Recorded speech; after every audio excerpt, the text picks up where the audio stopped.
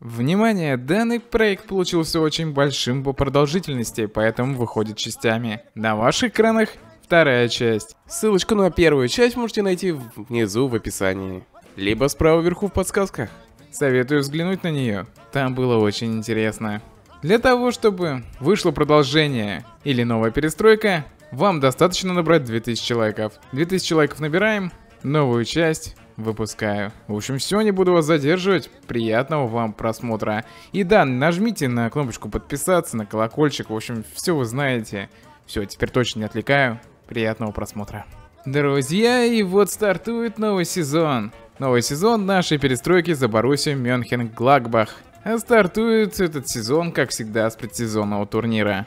Выбираем самый дорогой Перед тем, как мы продолжим, я хотел бы порекомендовать вам отличный онлайновый футбольный менеджер. Футбольный менеджер Легион. Вкратце поясню, что такое футбольный менеджер. Это футбольный мир, где проходят соревнования аналогичные реальным. Реальные команды и игроки. В отличие от FIFA, здесь не нужно принимать решения за конкретного игрока. Здесь ты управляешь всей командой в целом. А заявка на матч шлется заранее. То есть вы как тренер даете установку, а потом смотрите матч в виде анимации. Ну и также здесь присутствует все, что присуще футболу. Трансферы, прокачка команды, тренировка игроков, строительство инфраструктуры и так далее.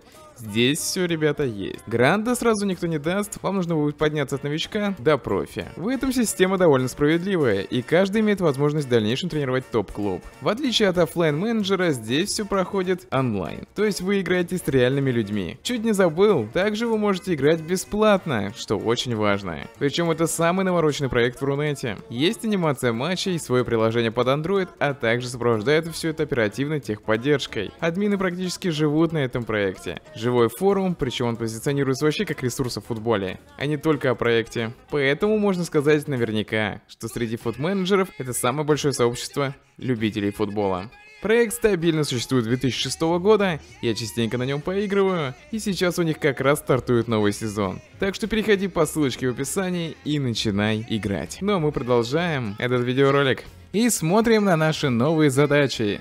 А задачи у нас крайне интересные. В Лиге Чемпионов дойти до полуфинала ЛЧ, в Бундеслиге выиграть чемпионат, ну и в Кубке Германии дойти до полуфинала. Сильно нам не стали усложнять задачи. Так, чуть-чуть подняли планочку. Но я очень надеюсь, что у нас все получится выполнить. В развитии молодежи, в общем, как всегда, тянут все наверх. То есть пытаются нас заставить подписывать молодежь, развивать ее и продавать потом в будущем. В популярности марки все очень легко и просто. Опять нужно продать трех игроков, и возможно мы это выполним. Ну и конечно же, нужно достигнуть количества сухих матчей в размере 7. В общем, просто 7 сухих матчей сыграть в гостях. Финансах тут все ясно и понятно, ну и домашний международный успех, как всегда, дублируется с основных задач. Смотрим на наш трансферный бюджет, в этот раз он огромный. 81 миллион на трансферы. Хотя нет, это не так уж и много. Я знаю, что у клубов бывает и побольше, но все равно деньги нехилые. Можем купить себе нормального центрального защитника, уже состоявшегося, который реально усилит нашу команду. Тем более мы можем теперь это себе позволить в ранге чемпиона Германии, в ранге обладателя Кубка Германии. В общем, все у нас теперь в порядке. Единственное, что мы не можем взять каких-то суперзвезд, потому что мы даже в полуфинал ЛЧ не прошли. Печаль, беда. Ну и до сих пор мы смотрим на ФРВ, также до сих пор, друзья, просматриваем этих игроков. Но самая главная цель для нас это центральный защитник. И я тут решил взять Гарри Магуайра. Отличный центральный защитник, и очень надеюсь, у меня получится его подписать. Вперед подписывать. Очень долго я тут вел переговоры, пока мы не достигли консенсуса. То есть я наконец-то предложил 60 миллионов за Гарри Магуайра, а представитель Манчестер Юнайтед просто не имел права отказаться. Да и самим игроком мы, кстати, быстро договорились, но и зарплату Магуайр, кстати, попросил приличную. 155 тысяч, прикиньте. Надеюсь, он оправдает полностью свои деньги. А про Загадову мы, пожалуй, пока забудем. Ставим Магуайра в состав, кстати, рейтинг его 84. И посмотрите, какой сейчас у нас огромный минус. Минус 61 миллион. Ну, я думаю, что этот минус мы спокойно оправдаем на протяжении всего сезона. Немного меняем тактику, ставим прессинг при потере мяча и будем играть очень активно в этом сезоне. Также из форвардов, я думаю, нужно будет посмотреть на Джордана Ларсона. Возможно, в этом парне есть что-то крутое. Симулируем предсезонный турнир. И в предсезонном турнире мы выходим в одну-вторую финала, где встретимся с Челси. И тут же выигрываем Челси со счетом 1-0. Тем самым выходим в финал предсезонного турнира. И тут же приходит отчет о Ларсоне. Ларсон имеет рейтинг 75. Маловат для нашего состава.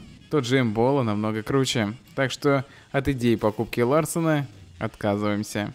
Зато у нас тут решили перекупить Эльведи. Паренька покупают в Барселону и покупают за отступные. Увы, я ничего не могу сделать, Эльведи сам захотел в Барселону. Поэтому я не могу препятствовать этому трансферу. К слову, Барселона заплатила за него 38 миллионов. Купили одного центрального защитника, в итоге продали другого. И зато покрыли минус. Ну круто же, разве нет? Тут же хотят купить у нас Эмбола, но Эмбола не продается. Так же, как не продается Нойхаус, даже в обмен его никого не отдам. Этот игрок мне нужен. Ну и, конечно же, друзья, я тут подыскал свободных агентов. К слову, вот эти три футболиста, их мы сейчас подпишем, имеют неплохой потенциал. Я думаю, в будущем их можно даже будет перепродать. Подписываем первого футболиста, ставим ему маленькую зарплату, всего 6 тысяч, а двух остальных подпишем позже. Скаут все пытается мне впихнуть Каутиню на позицию ЦАП. И действительно, у нас позиция ЦАП прям существенно страдает. И эта позиция, правда, нуждается в усилении. Хотел купить на эту позицию Завицера, но его купила Барселона. Опередили нас, вот. Подписываем свободного агента с огромным потенциалом. И предвкушаем, друзья, отчет скаута о ЦАПах. Но пока он толком никого не нашел. К слову, человек, которого мы подписали бесплатно, имеет позицию ПП и ЦАП. И ему всего 22 года. Возможно, он вырастет вполне себе хорошего и топового футболиста. Посмотрим. А пока мы будем его переучивать с позиции ПП на позицию ЦАП. Приступаем к финалу предсезонного турнира и проигрываем этот финал со счетом 1-0. Эх, Красивая история предсезонного турнира не получилась. Но надеюсь получится все у нас в финале Суперкубка Германии, где мы встретимся с Баварией Мюнхен. Также продолжаем искать перспективных молодых игроков в регионе Германия, желательно с уклоном в защиту. Не продаем вратаря нашего, который в принципе резервист. Продолжаем искать перспективных игроков на позицию ЦАП. Не продаем Гинтера, но у нас тут выкупают Плея. Выкупают, к слову, за отступные. В принципе, игрок э, не молод, игрок э, уже толком расти не будет. И почему бы нам его не продать по такой цене? Тем более в будущем я собираюсь купить игрока рейтингом повыше уже состоявшегося. Да, отступные выплатили, и теперь нам нужно будет искать игрока на позицию ФРВ. И этого игрока я нахожу в лице Рауля Хименеса. 84 рейтинг, да, знаем, ему 30 лет, но на данный момент он имеет очень неплохие статы и поможет нашему составу пробиться в финал Лиги Чемпионов. Я почему-то в нем уверен. Ну, также у нас есть Эмболо, в случае чего, если вдруг Хименес не будет тащить. В Эмболо я тоже верю. а сейчас приступаем к финалу Суперкубка Германии. И, друзья, мы еле-еле выигрываем по пенальти со счетом 5-4. Тяжелая серия пенальти была, крайне тяжелая. Плеяд здесь тоже говорит о том, что он выбрал Валенсию, а не наш клуб, и что ему там будет лучше. Возможно, но он был командным игроком, в принципе, неплохо играл. Тем самым после продажи плея наш трансферный бюджет равен 100 миллионов. Охренеть. Продолжаем не продавать Гинтера, но идем покупать Хименеса. Удалось мне купить Хименеса, друзья, за 50 миллионов. Да, многовато, да, слегка переплатил, но я думаю, что он каждую копеечку оправдает. Зарплату он попросил, в принципе, не совсем уж и большую, 135 тысяч. И, друзья, я его сразу поставил в основу. Тем самым состав неплохо так преобразился. Мы увеличили общий рейтинг, и команда выглядит теперь посолиднее. Да и в минус большой не ушли. Это огромный плюс. Да еще и денег осталось неплохое количество.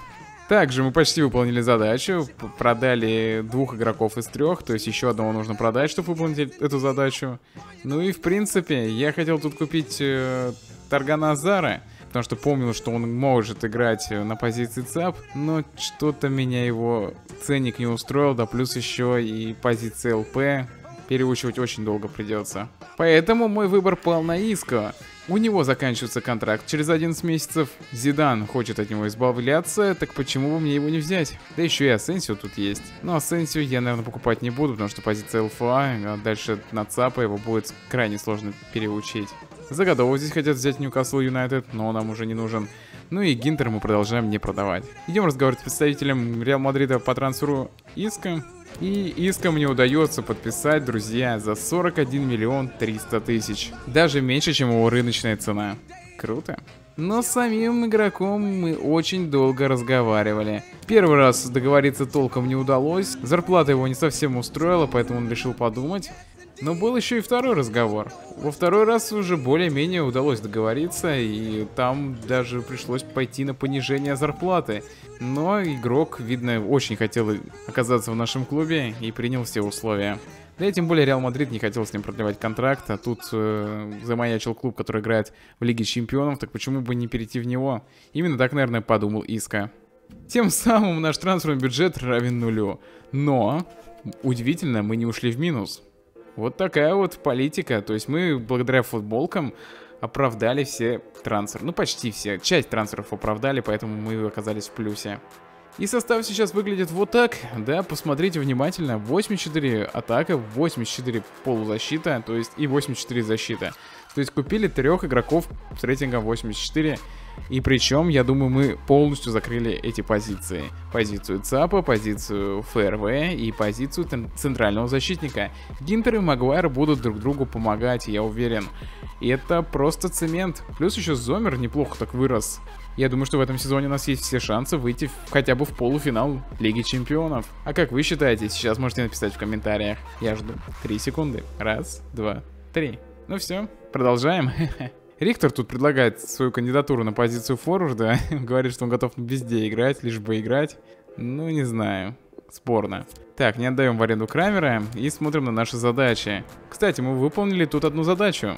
Продали трех игроков. Круто. И остается ровно час до конца трансферного окна, и главные сделки уже на ваших экранах. Отмечу то, что Коман перешел в Ювентус, то, что в принципе Виналдум ушел, то, что Головин там ушел, посмотрели.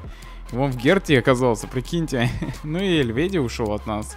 Ну и в принципе крутых уж трансферов я не вижу. Ну а наши сделки вот на ваших экранах. Э, думаю тут обсуждать что-то бессмысленно. Да, мы еще продали Хоффмана в Эвертон и все.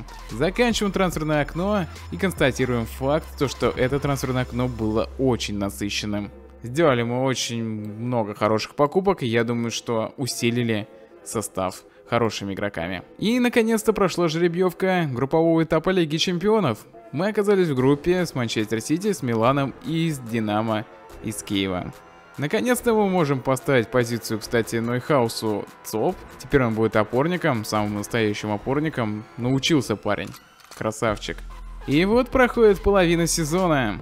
Эта половина сезона была крайне насыщенная, сейчас все сами увидите.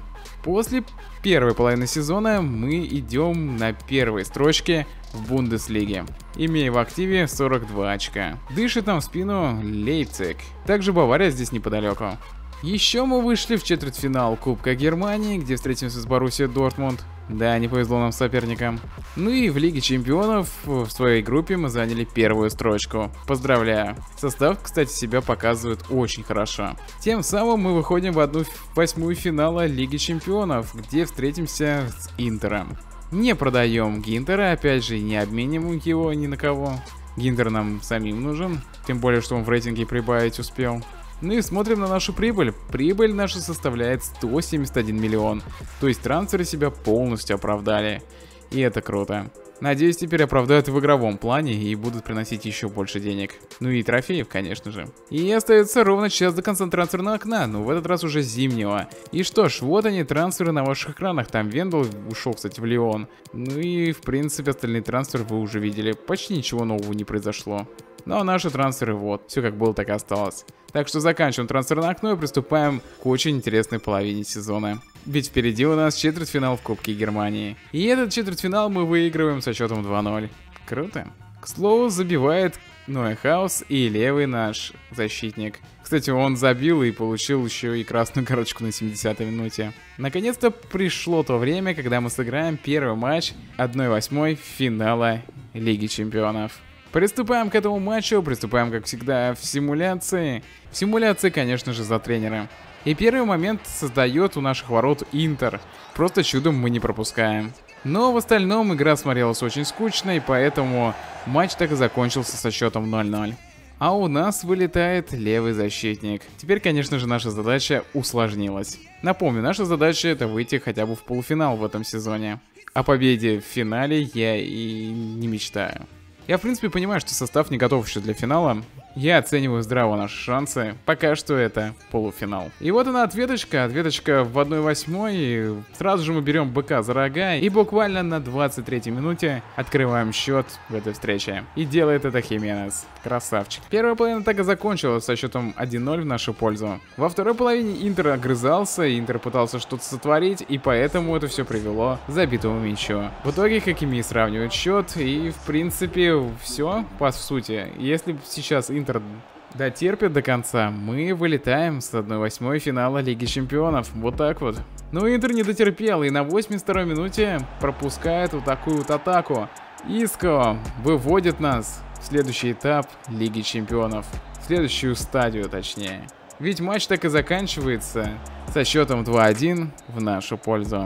Вот так вот, прошли мы одну восьмую финала, прошли мы Интер еле-еле, прям на тоненького. И встретимся мы в 1-4 Баруси Дортмунд. Вот нам прям везет, ну прям везет на Боруссию Дортмунд. Именно на четвертьфиналы всегда она нам попадается в этой стадии. Первый матч 1-4 мы играем в гостях на поле Баруси Дортмунд. И счет в этой встрече, друзья, открывается только на 55-й минуте. Боруссия Дортмунд, кстати, до этого мяча, до нашего мяча забитым Тюрамом, имела колоссальное преимущество. Создали два момента, было три удара, но Тюрам все зарешал. Идет 74-я минута встречи, и вот такая вот атака в нашем исполнении приводит к еще одному забитому мячу. В этот раз забивает Закария и делает счет на табло 2-0. Встреча так и заканчивается со счетом 2-0 в нашу пользу. То есть нам, по сути, повезло. Был всего лишь один стопроцентный момент, его мы реализовали, второй соперник сам привез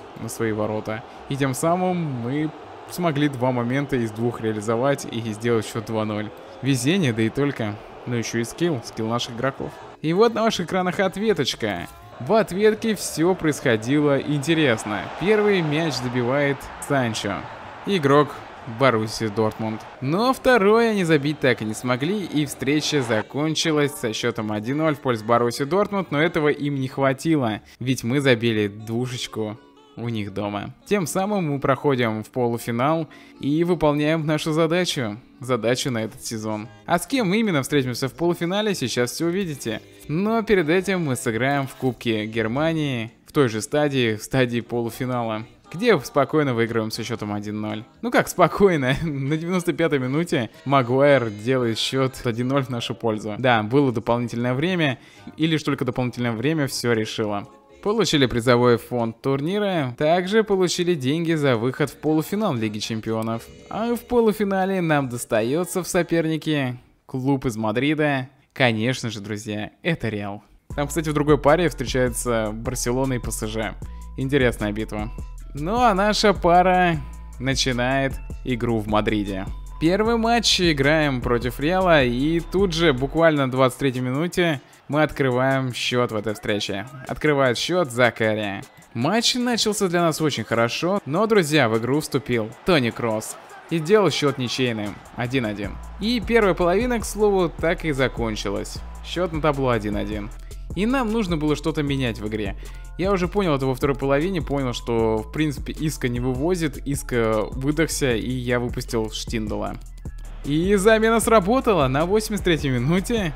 Штиндал делает счет 2-1 в нашу пользу.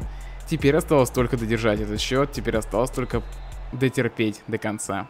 Но дотерпеть не вышло, и мы пропустили на 89-й минуте. Забил нам Асенсио. Асенсио стал у них чаще играть в основе, и в принципе теперь превратился из игрока запаса в игрока основы. А встреча так и закончилась, счет на табло 2-2. Что ж, ответка будет крайне тяжелой для одного клуба и для другого, нас даже устроит нулевая ничья. Но терпеть не в нашей крови, и поэтому Сар на 33-й минуте делает счет 1-0 в нашу пользу. Но тут же Эдегор делает счет равным 1-1. Вот такой вот размен произошел в первой половине, а во второй уже творились нешуточные страсти. Я чувствовал, что Реал Мадрид может нас задавить, плюс еще, друзья, у них намного больше моментов было создано. Да и игроки у Реала были посвежей, откровенно говоря. Надо было менять Закарию, надо было что-то мутить, и на поле вышел опять же тот же Штиндл, но вышел на позицию ЦАПа. Иско теперь играет позицию ЦП. Единственным опорником остается Нойхаус, который бегает по всему центру. В общем, я чуть-чуть перестроил схему, теперь у меня по сути два ЦАПа, да, но Иска возвращается в оборону, и Иска помогает обороне, помогает как может. Посмотрим, к чему это приведет. И это приводит к тому, что на 90 минуте мы ставим точку. Делает это Штиндл, и тем самым Боруссия Мюнхен-Гладбах э, выходит в финал Лиги Чемпионов. Поздравляем, поздравляем ее с этим достижением. Блин, вот это да. Получили деньги за выход в финал ЛЧ. И я очень рад, что у меня удалось это сделать. Я крайне рад, что я смог сотворить историю. Но теперь нужно выиграть в этом финале, а эта задача непростая. Конечно же, перед этим финалом нам нужно будет сыграть последний матч в чемпионате. К слову, чемпионат мы уже досрочно выиграли, набрав 79 очков в 33 матчах. Ведь имеем мы еще и отрыв э, в размере 7 очков. Боруссия Дортмунд теперь точно нас не догонит. Поэтому мы вышли на матч с Лейпцигом на расслабоне. И даже выйдя на расслабоне, мы все равно одержали победу. Также впереди у нас финал в Кубке Германии, где мы встретимся с Байером 04. Но перед этим финалом, конечно же, получим свои денежки. Получаем 105 миллионов за выигрыш в Бундеслиге. Тем самым наша прибыль составляет уже 341 миллион. Ставим Штиндала в основу, видите, у него это по сути, последний матч в карьере. Ну, будет, конечно же, и у него еще и финал Лиги Чемпионов. Мы ему еще и там дадим время поиграть. Но, друзья, у него сейчас есть огромный шанс поднять трофей над головой, сыграв матч с Байером. И в итоге мы одерживаем победу в этой встрече. Счет на табло 3-2. А Штиндл поднимает кубок над головой. Все, уходит он, в принципе, уже красиво. Опять дубль, опять все круто, опять все классно. Но впереди у нас финал в Лиге Чемпионов. Ну и, конечно же, Штиндл просится сыграть в этом финале. Дадим шанс парню, дадим шанс закончить карьеру треблом. И вот в ваших экранах финал Лиги Чемпионов. Последний матч, последний матч этого сезона и, надеюсь, перестройки. Все, что нам нужно сделать, это сегодня победить. Ну и, конечно же, друзья, нужно будет сейчас поставить состав в основной нашего восстановившегося игрока. И, в принципе, вы еще раз можете взглянуть на то, как состав себя чувствует. Состав неплохо так прибавил за эти два сезона, и я думаю, что сегодня, в финале, вы должны побеждать. Так что выходим на поле. Финал Лиги Чемпионов. Боруссия Мюнхен-Гладбах, Барселона. играем сегодня на Сантьяго Барнабеу этот финал. И сегодня будем биться вот за такой вот красивый трофей.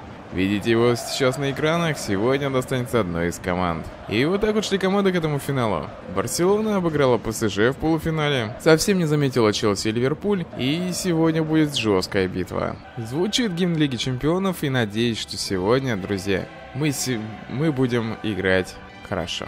Ведь для Боруссии Мюнхен-Гладбах это первый финал за столь долгое время. Первый финал, конечно же, Лиги Чемпионов, ну и что ж, сейчас посмотрим на состав Барселоны и все будет вам ясно и понятно. И вот состав Барселоны на ваших экранах. Отмечу то, что в составе у них есть бывший наш игрок Эльведи и в атаке Месси, Дембеле и Гризман. Тяжелая игра нас ожидает, крайне тяжелая, я надеюсь, что у нас все сегодня получится, друзья. Я надеюсь, что мы сегодня сможем победить. Хименес с мячом. Хименес. Опасная атака в исполнении Баруси Мюнхен-Гладбах. И Хименес пытается здесь пройти сам, но не получается. Саар. Саар с мячом. Саар, передача в центр. Ну, здесь никто не может подключиться, к сожалению. Ну и Хаус не успевает к этому мячу. И ой, здесь еще и наш левый защитник не успевает. Тихо, тихо, тихо. Что это за косяки пошли? Гинтер, исправляйся давай. Ой-ой-ой. Так, ну все, друзья, вы что, вы что паникуете-то? Да, панику словили игроки нашего состава, к сожалению. Тюрам с мячом, Иско, ну и забивать. Ух. Играет против бывшего клуба, кстати, Терштеген. Вы знали, друзья, что Терштеген раньше играл в Боруссии Мюнхенгладбах? Ну и сегодня заканчивает карьеру Штиндл, так что выпустим его, обязательно выпустим, но во второй половине. Как раз Иска уже подустанет, и сейчас вот Иска с мячом. Центр дает, Закария на фланг и Тюрам забивать. Ух, Терштеген. Подача, и Терштеген выбивает, и может быть Иска отсюда пробьет выше ворот. Закария, тонкая передача, не была офсайда, и нет, все-таки был. Да блин, почти на одной линии. Немного не фартануло, а так было бы красиво. Ой, как разворачивается Иска, ну сейчас забивать нужно, штанга. Ух, 0-0 пока что. 0-0. И штанга спасает Барселону прямо на исходе первой половины. Да, что там по выносливости, друзья? Ну, Иска нормально себя чувствует, кстати, Генцебаиник ну, на травме. Я даже не знаю, оставлять его или нет. Ну ладно, во второй половине... А, он травмирован. Все-таки все. Не сможет продолжить игру. Так, главное, Штиндала не забудь выпустить. Чуть попозже. Минут еще 20 поиграет Иска и выйдет Штиндал. Да, с флангом у нас защиты все очень плохо. Как раз на фланге, где Лионель Месси, блин. Так, подача в центр, удар головой. И здесь Терштеген на месте. Тюрем, кстати, неплохо пробивал от газона, но, к сожалению, удар сильным не получился. О, тихо, тихо, тихо, тихо, парни. Аккуратней. Барселона включила прессинг тотальный. Нужно как-то выходить из этого прессинга, потому что нам просто не дают даже мяч забрать. Ух ты, ух ты, ух ты. Розыгрыш красивый. Здесь придется косить игрока. И Гинтер желтую карточку получает. Так, ну нужно будет, наверное, Иска заменить. Иска совсем себя чувствует не очень хорошо. Выпустим Штиндула. Ну что ж, надеюсь, там Леонель Месси не сможет забиться штрафного. Очень опасный штрафной нас ожидает. Да. Удар Леонеля Месси. Здесь просто зомер. Вытаскивает. Закария бежит по флангу. Закария. Ланглей против Закарии. Закария его спокойно убирает. Закария! Чуть-чуть, чуть-чуть не хватает нашим игрокам. Полсон против Лионеля Месси. О, нарушение правил. Здесь точно. Разве нет? Так еще и с нашей стороны нарушение. Чего? Месси уходит, кстати. Месси уходит. Вот это неждан. Ну и все, друзья. Встреча окончена, но именно основная часть встречи. Будет дополнительное время. Вот так вот. Нас ожидает битва еще в дополнительное время. Не знаю, что будет в дополнительное время, потому что сейчас просто все на тоненького. Походу все решится в серии пенальти. Дальше на Нойхауса. Нойхаус центр. И пятка передача какая пошла. И Хименос. Ух, здесь Терштеген просто выручает сейчас. Тюрам. Тюрам. Могли забивать, просто могли забивать, если бы не ноги Терштегена. Я не понимаю, я просто не понимаю. Барселоне везет, сказочно везет. Ой-ой-ой-ой-ой, что делать? Непонятно. Ой-ой-ой, какая передача, ну и Штиндал, решай! Вот это да. Вот это я понимаю, капитан. Ну, бывший капитан, потому что сейчас э, капитанит у нас Гинтер. Но все равно в любом случае Штиндл решил в итоге момент, который, в принципе, для него был создан. Но он, как он разобрался, как он разобрался здесь против Терштегена. Фух. Да.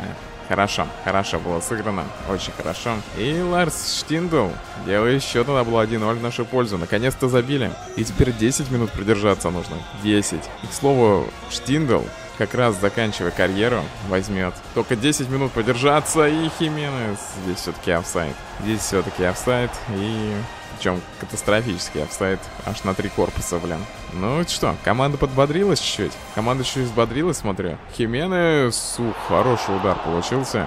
Рихтеры предлагают выпустить. Ну ладно, не будем выпускать, уж Тюрам пускай добегает до конца. Ой-ой, Хименес здесь разворачивается против Лангли. Придержал мяч Хименес, и все. Все, друзья, мы побеждаем в этом тяжелейшем финале. Фух. Я сделал это. Первая перестройка выполнена.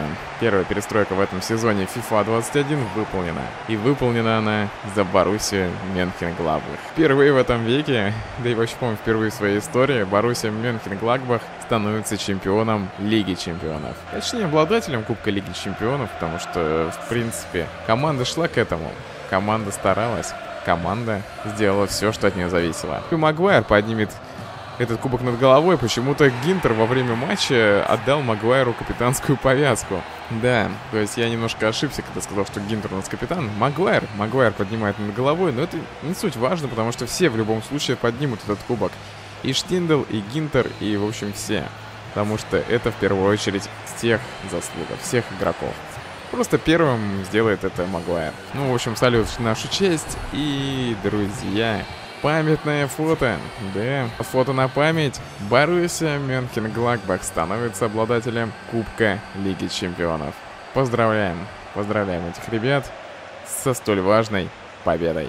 Ну что, Штиндл красивым. Штиндл красиво, друзья, затащил. В общем, красиво закончил карьеру. Эх, ну а лучшим игроком кто признан? А что, лучшего игрока в этом матче нет? То есть мне самому нужно присудить звание лучшего игрока? Наверное, Закари отдам. Ну или Штиндулу. Именно Штиндл же вытащил нас. Именно Штиндл смог сделать то, что не смогли сделать другие. Забить наконец-то Терштегену.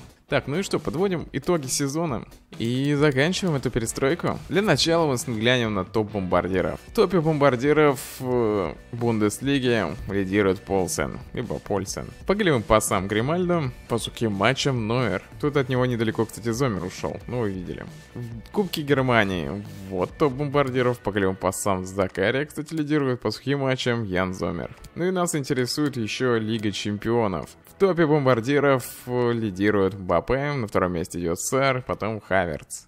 По голевым Месси, по сухим матчам Ян Облак. Замеру чуть-чуть не хватило. Вот она Лига Европы, здесь, я думаю, сильно не будем делать акценты, потому что все и так видно, все и так ясно, все и так понятно. Да. Отметим то, что лучшим бомбардиром Ричарлисон так и не стал. Тут Бары в итоге на первой строчке оказался. Ну и все. Ну также давайте посмотрим, кто выиграл Лигу Европы. А Лигу Европы выигрывает Вильяреал. Ну и заканчиваем сезон. Пожалуй, все на этом. И, кстати, посмотрите, друзья, на прибыли. Прибыль наша в этом сезоне составляет 364 миллиона.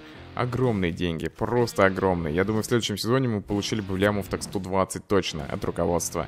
Ну и вот они задачи, почти выполнили все, но где-то что-то не выполнили. Зато выполнили все, что касается успехов. То есть домашний международный успех мы точно выполнили. И выполнили красиво. Требл, требл в нашей копилочке, требл в нашем кармане. И вот завоевал этот требл вот этот состав. Также посмотрите, кто больше всех наклепал мечей. А больше всех наклепал мячей сэр. 31 мяч. Тут недалеко, кстати, от него Тюрам ушел. И по системе гол плюс пас у них все одинаково. А больше всех матчей сыграл у нас э, Ян Зомер, Лайнер, Закария. И все. А по голевым пасам кто? Закария. Кстати, 90 рейтинг уже. То есть он за сезон просто плюс 4 сделал. Красавчик. У Тюрама 88. Блин, игроки офигительно развиваются. Закария в этом сезоне реально себя показывал фантастически классно. Ну и получили мы тут деньги за победу в финале Лиги Чемпионов. 19 миллионов дали. Ну и давайте подведем итоги. Эта перестройка получилась крайне удачной. За два сезона я перестроил клуб, который в принципе болтался в середине таблицы Бундеслиги, перестроил его до топ и гранда и сделал это, думаю, красиво. Если вы хотите новых перестроек, то вам достаточно набрать 2000 лайков. 2000 лайков набираем, новая перестройка выходит. Ну и оставляйте свой клуб для следующей перестройки. Но я скажу, что мы сделали все очень красиво, и я думаю, что перестройка выполнена. А с вами был Мэдрик, всем удачи, до скорых встреч, друзья, всем пока-пока-пока. Также не забываем нажимать на подписку, ставить колокольчик и оставлять свои комментарии. В общем, всем пока.